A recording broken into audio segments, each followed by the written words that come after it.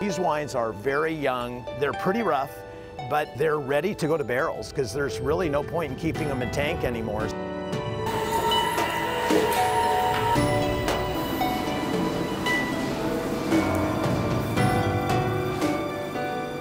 What really softens these wines will be a second fermentation, malolactic fermentation, and that's a bacterial fermentation that changes the malic acid to lactic acid and, and rounds out the mouthfeel. So they're going to be put in our uh, French oak barrels. They're going down to our barrel chai and starting the long process of aging. It's like a two-year process of you know, uh, the French call it élevage, which is to, you know, bring the wine up and like, almost like educate the wine and turn it into what we think of as the final product.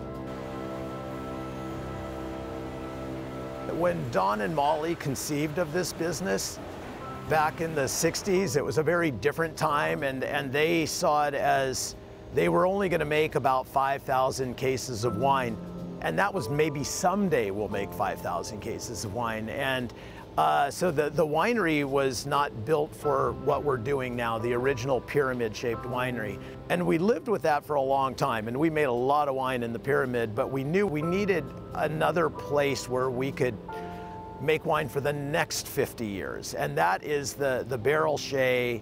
It, you see the tanks, but be, beyond the tanks in the work area is a is this perfect home for our barrels. That was built in 2012. When we built the Chai, we said we need it cold when we want it cold. We need it warm when we want it warm.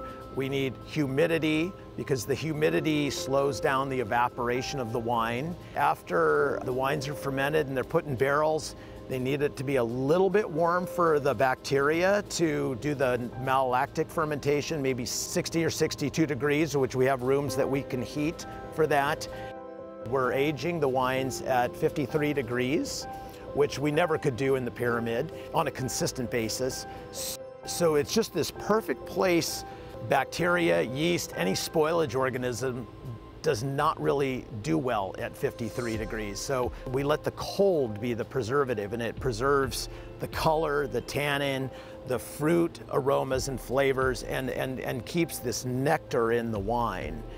The barrels are really a pretty amazing vessel. They look like furniture. There's a porosity to them. They let a very slow integration of oxygen through the pores, between the staves, through the bung, through the wood. And that's the process, part of that élevage is that slow intake of oxygen that allows the wine to mature. It helps the tannin and color knit together. For some wines, we use 100% new wood every year, new barrels for the Pritchard Hill Cabernet. That's the only wine that gets 100% new, but we love the spice components that come from the barrels. We're very specific about where our barrels come from, what forests, uh, how they're made, how long the wood is aged, how they're toasted. So all that is very specific to the style of our wine. Uh, so these barrels are incredibly expensive. We use them for about five years. And then at that stage, a lot of them go to, uh, to whiskey production. And those whiskeys and things actually soak a little bit of our Pritchard Hill Cabernet back out into them. So we're very close to the end. This has been a very high quality vintage.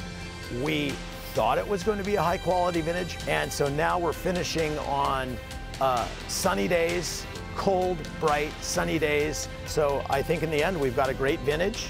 I mean, really, they're charming wines. They have lots of color, kind of low tannin, softer wines, and with beautiful fruit character. So these are all the characters of a high quality vintage. So I, I think you'll hear a lot about this vintage in the future.